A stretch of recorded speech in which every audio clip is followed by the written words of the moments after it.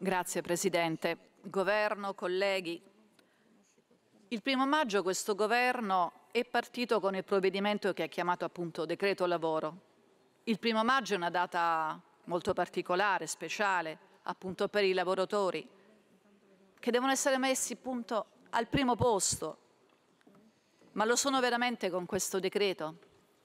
No, non lo sono. Purtroppo non lo sono. La visione purtroppo è chiara. Questo governo emana provvedimenti per tutelare i poteri forti e schiaccia i deboli.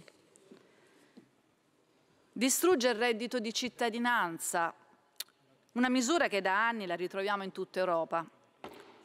In Italia questo governo decide di fare cassa sui deboli, sui fragili. Noi ci chiediamo perché. Una risposta ce la siamo data.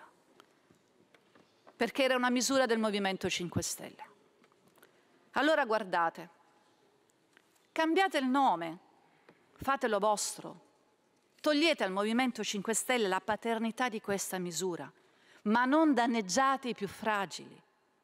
I criteri stringenti ora previsti per l'assegno di inclusione, perché l'avete chiamato in questo modo, ma ahimè è una misura veramente molto critica, lasceranno fuori anche alcuni disabili e le loro famiglie.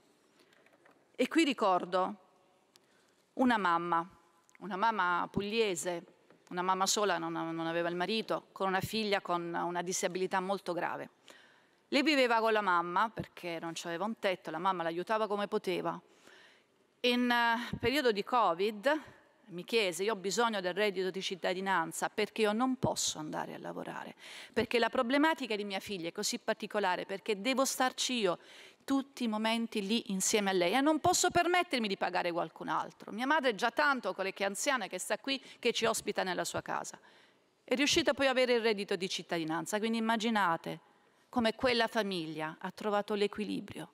Io mi chiedo adesso, adesso che cosa succederà in quella famiglia? In questo provvedimento sapete cosa dovevate inserire?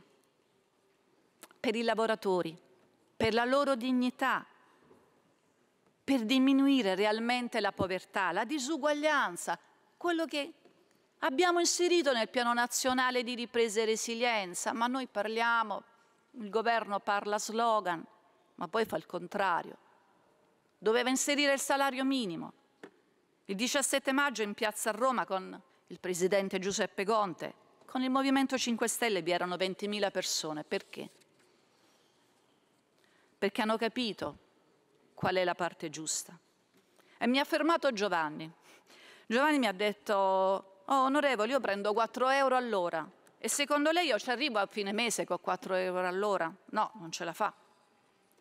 Questo mi raccontavano, questo raccontavano quel giorno che ci incontrava, perché noi stavamo lì con loro nella piazza.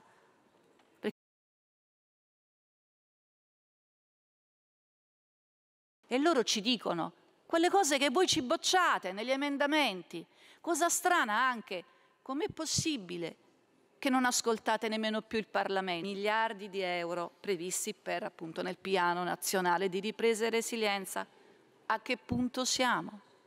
Siamo a zero. Livello zero perché le regioni, anche quelle da voi amministrate soprattutto, non hanno assunto nemmeno la metà degli addetti nel settore lavoro. Dobbiamo fare figli perché insomma, la nostra popolazione è piuttosto anziana. Ma io dico con che coraggio noi chiediamo ai nostri giovani di fare figli quando gli abbiamo dato i voucher fino a 15.000 euro all'anno, quindi un lavoro precario.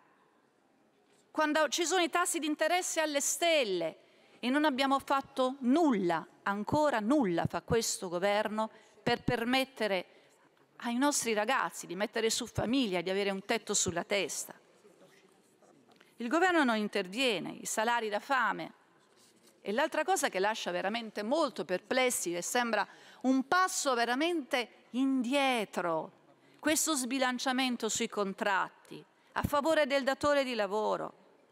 Quindi date questa possibilità se c'è, non c'è una contrattazione collettiva, di trovare un accordo fra le parti. Ma immaginate in che modo possono essere sfruttati quelli che sono alla fine i nostri figli.